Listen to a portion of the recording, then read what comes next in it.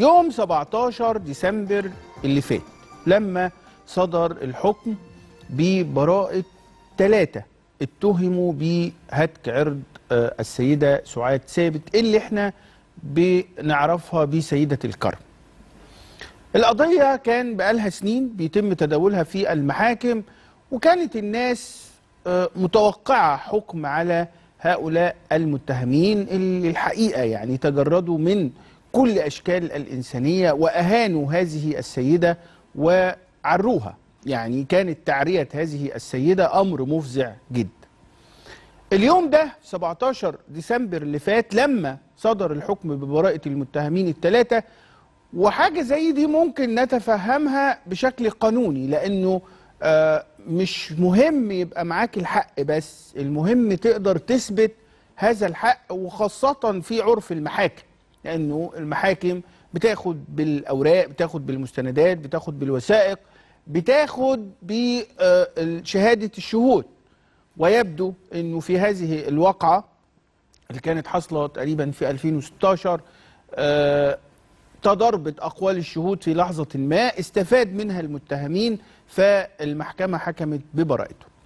اليوم ده أعلن النائب العام أنه بيبحث من خلال مكتبه آه، آليات الطعن في هذا الحكم بعد الاطلاع على الحيثيات اللي بتودعها المحكمة اللي أصدرت الحكم بالبراءة. أنتوا عارفين بعد الحكم ما بيصدر بتبقى ليه حيثيات سواء كان هذا الحكم بالإدانة أو بالبراءة بيبقى فيه حيثيات اللي هي الأسباب اللي هي المبررات. يعني أنا ليه أصدرت هذا الحكم بالبراءة أو أصدرت هذا الحكم بالإدانة؟ نائب العام المستشار حماد الصاوي قال والله إحنا هنبحث في المكتب مكتب النائب العام آليات الطعن هنقرأ الحيثيات ونشوف.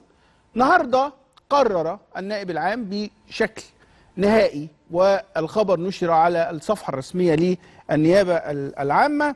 وزي ما قدام حضراتكم أهو نصا لأنه هذا الخبر يمكن بنعتبره من الأخبار المهمة والأخبار آه، اللي ليها دلالة. آه، ليها دلالة إزاي؟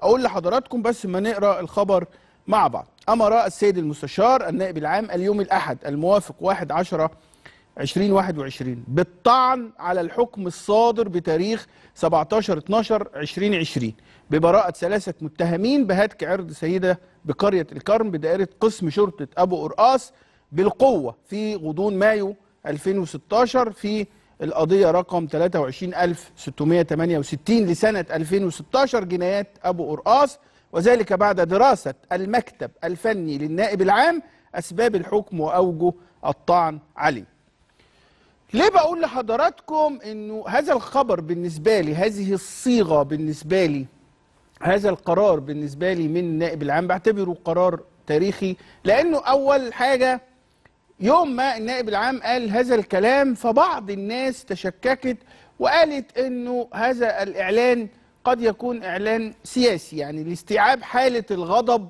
اللي كانت موجودة وقتها. يعني ناس كتيرة غضبانة وزعلانة وتقول إزاي والست ظلمت والست أهينت والست تم تعريتها والناس شافت ده فالناس كانت غاضبة بشكل كبير وبدأ ناس يسيسوا هذا الحكم ويقول لك آه طبعا ما هي عشان مسيحية اتعامل معاها كده طب دي لو ست مسلمة كانت اتعامل معاها كده لا طبعا ما كانش هيتعمل. كل هذا الكلام اتقال. فوقتها بعض الناس شككوا اللي هو إيه؟ العادة الآن. يعني الأصل في الأشياء الآن في مصر التشكيك. وبعد كده نبقى نشوف. رغم إنه أنت الأصل في الأشياء إنك تبقى مصدق تبدي حسن النية. لكن الأصل في الأشياء في مصر الآن بقى التشكيك. فبقى تشككوا. وقال لك يعني طبعا عشان يهدوا بس الجو يا عم ولا في طعن ولا حاجة ولا النيابة هتهتم ولا حاجة والحكم صدر والست دي بقى ليها ربنا. لما بيصدر النهارده هذا القرار لا يبقى إحنا قدام مؤسسة جادة جدا بتعمل بشكل جاد جدا وبتؤكد من خلال هذا القرار الكلام عن دولة المواطنة اللي إحنا بنتكلم عليها. يعني هو هنا لما بياخد هذا القرار هو بياخده حفاظا على حق مواطنة مصرية اسمها ست سعاد ثابت موجودة في قرية الكرم في المنيا. هي بقى مسلمة هي مسيحية هي كبيرة هي صغيرة هي ما- ما فيش. يعني لا يوجد شيء يؤثر إلا أنها مواطنة مصرية ومن حقها على النيابة أن هي تطعن في هذا الحكم. فالحقيقة يعني كل الشكر آه، سيادة النائب العاشر حمد الصاوي. وفي بعض الناس يقول لك لا انت ما تشكرش النيابة. لا بنشكر النيابة لأن النيابة هي محامي الشعب. فعندما يصدر هذا القرار فإحنا بنبقى مطمئنين. وبنقول إن شاء الله هذه السيدة اللي الحقيقة ظلمت ظلم بين ما كانش ليها ذنب. يعني في خناقة صحيح. ابنها متورط في حاجة وخصومه بيتخانقوا. مالك الناس اللي راحة فتعمل في هذه السيدة؟ ده بصرف النظر. زي ما بقول مسلمة مسيحيه إحنا بنتكلم عن مواطنة بنتكلم عن إنسانة. فشكرا مرة أخرى للنائب العام اللي الكلام صدر منه والنهاردة التطبيق العملي عليه معنى ذلك إن إحنا قدام طعن في الحكم ببراءة الثلاث متهمين اللي كانوا متورطين في قضية سيدة الكرم